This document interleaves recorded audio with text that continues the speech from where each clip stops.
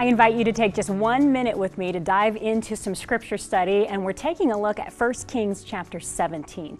Here we have King Ahab and the prophet Elijah. And if you don't know about it, King Ahab, he was not a real great dude when it comes to following God. In fact, he didn't follow God at all. And Elijah got in his face a few times, and they had a few skirmishes and some issues.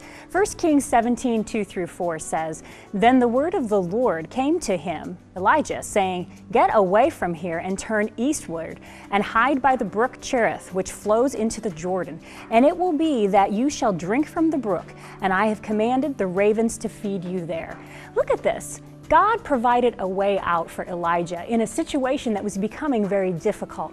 And today I want you to think about your own situations. Are you dealing with difficult people? Are you finding yourself crunched in a way you do not know what to do?